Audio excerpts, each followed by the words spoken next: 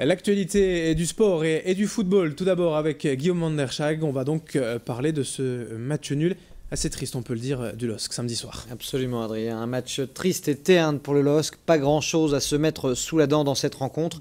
Seulement 8 tirs du côté des Lillois et un seul tir cadré. Hein. C'était Corchia à la 17e sur coup franc. Pour le reste, pas grand-chose. Seulement 47% de possession côté Lillois, ce qui est assez rare pour être souligné, puisque habituellement les Lillois à domicile ont la plus grande possession du ballon.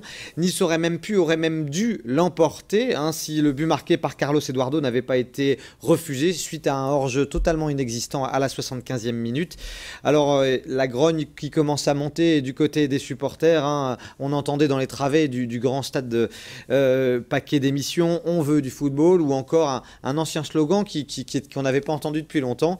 Euh, c'est doux, qu'as-tu fait des sous Alors Balmont fut néanmoins chaudement salué pour son 400e match de Ligue 1, mais la conclusion de ce match, eh bien, c'est que le LOSC est clairement incapable capable d'enchaîner. Mis à part en début de saison et l'enchaînement évian quand euh, tout début janvier, eh Lille se montre incapable de, s'imposer deux fois de suite, ce qui, ce qui condamne un petit peu le club au ventre mou du classement de Ligue 1. Et ce qui condamne aussi peut-être les supporters lillois à une fin de saison également assez terne, malheureusement. Euh, à l'autre bout du classement, enfin en tout cas tout en bas, Lens s'enfonce dangereusement. Absolument, le Racing a pourtant beaucoup tenté, a, beaucoup donné samedi soir, mais en vain. Hein. C'était face à Evian, un concours, en concurrent direct, euh, qui a été clairement meilleur dans les duels et dans la construction. Et du coup, Evian s'est logiquement imposé 2 buts à 0.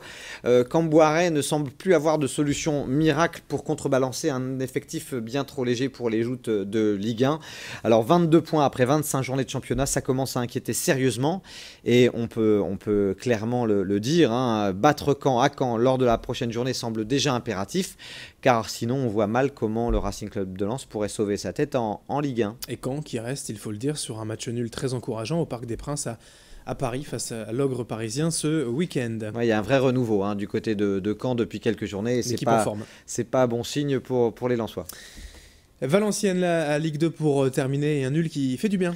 Oui, alors pas forcément comptablement, hein, mais, dans les têtes car il stoppe euh, une hémorragie, hein, une hémorragie assez lourde, hein, puisque c'est une série de six défaites consécutives en championnat pour Valenciennes, et ce match nul euh, fait du bien. dans le même temps, en plus, Tours et Arlavignon se sont neutralisés derrière. Du coup, malgré cette non-victoire, Valenciennes reste, non relégable, un point devant les trois places de, de synonymes de relégation.